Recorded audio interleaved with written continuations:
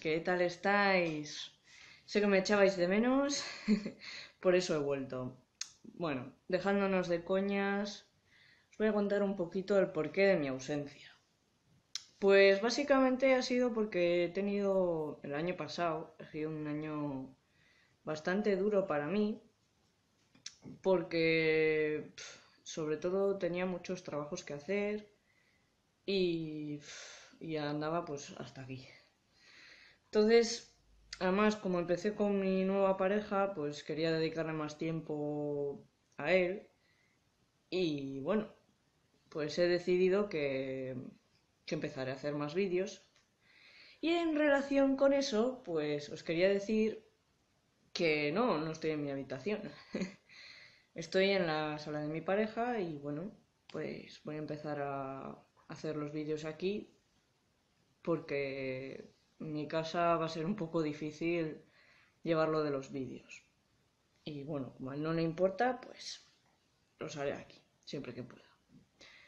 En cuanto a, en cuanto a relación de planes para vídeos futuros, me gustaría hacer una serie de vídeos relacionados con la criminología, porque bueno, ya voy a pasar a cuarto y bueno, yo creo que estaría interesante hacer algunos vídeos para meteros un poco más en el mundo de la criminología y enseñaros un poco.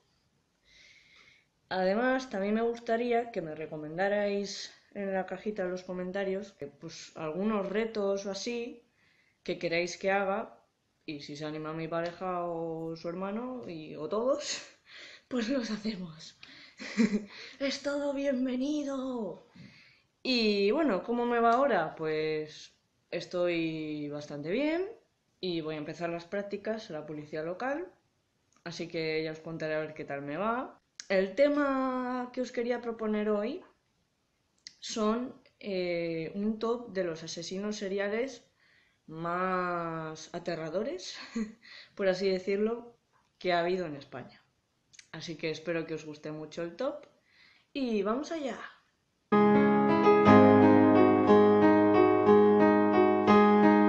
Bueno chicos, como bien sabéis, para que una persona se le considere asesino en serie, tiene que haber matado a más de tres personas en un periodo breve de tiempo.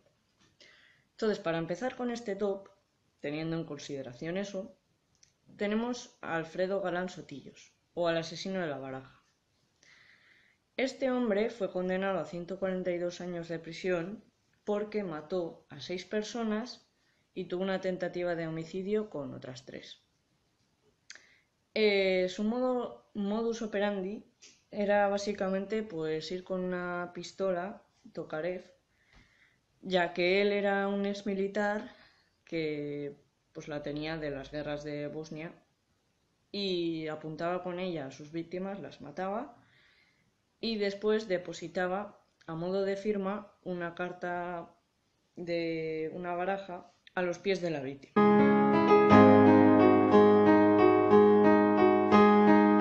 En el puesto número 5 tenemos a Margarita Sánchez Gutiérrez, la única mujer de este top que también era llamada como la viuda negra. Ella, como vivía en una situación precaria, había sido víctima de malos tratos y necesitaba alguna forma de subsistir, pues envenenaba a, a sus víctimas, que eran, fueron cuatro hombres, e intentó con otros tres en un periodo desde 1992 a 1995, pero su ánimo no era de matarles, sino los quería envenenar para luego eh, robarles.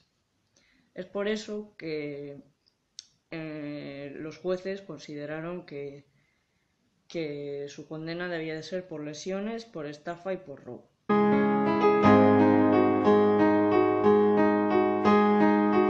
El puesto número 4 nos encontramos con un caso más o menos reciente, que es el celador de Olot, que asesinó a 11 ancianos entre agosto de 2009 y octubre de 2010.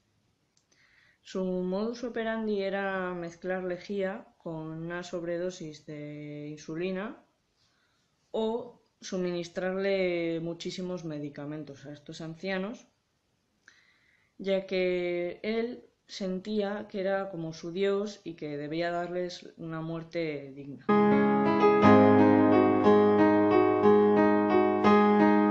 En el número 3 tenemos a Francisco García Escalero, que le han apodado como el mendigo asesino, que mató a 13 personas, las degolló, que más o menos pues eran algunos mendigos y otros pues personas ciudadanas, ¿no? Entre 1987 y 1993. Os recomiendo que leáis su historia porque es bastante escabrosa y está bastante relacionada con la muerte. Este hombre estaba muy obsesionado con, la muerte, con los cementerios, incluso profanaba tumbas, practicaba necrofilia. Recomiendo que si os interesa un poco saber sobre este hombre, pues que, que busquéis abajo en internet información.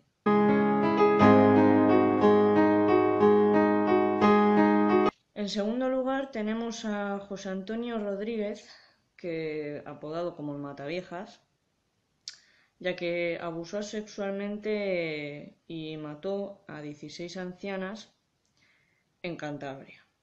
Y se le condenó a entre 1987 y 1988 a 440 años de cárcel.